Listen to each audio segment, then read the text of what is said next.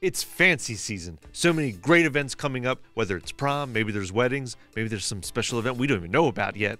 But we're at Compass Closet because you guys have lots of solutions for all these events that maybe people haven't thought about before, right? And so we have prom if you've got a wedding coming up or if you're a mother of a bride and looking for a special dress. But we also have tuxedos as well and suits and cummerbunds and the whole deal. So whatever you're looking for and whatever style, we definitely. So we're in Compass Closet, and maybe those people don't know what Compass Closet is. Could you tell us a little bit?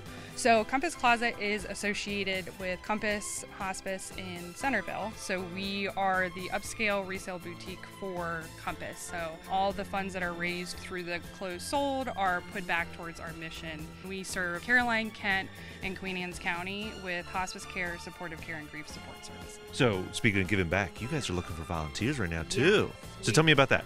So we are in need of volunteers with Compass, but also Compass Closet we're at today. Any day of the week is fine, but we're really looking for Friday and Saturday. It's two shifts a month and they're a couple hours each and you can coordinate with our volunteer manager and it's really good for high school students or other people who are looking for service hours or um, also college references.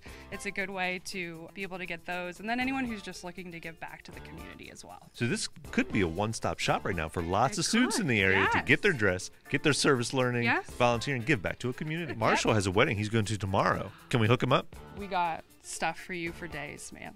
Come on, Marshall. We have some shopping to do.